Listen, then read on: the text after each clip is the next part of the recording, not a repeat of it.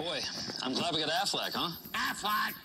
No, I've just got major medical. Major medical. But helps pay the doctors. Pays the doctors, boy. Oh, yeah? What about your family? We added Aflac, so we get cash. It's like our safety net. To help with the mortgage or whatever we need. So my family doesn't feel the pain, too. Help protect your family at Aflac.com.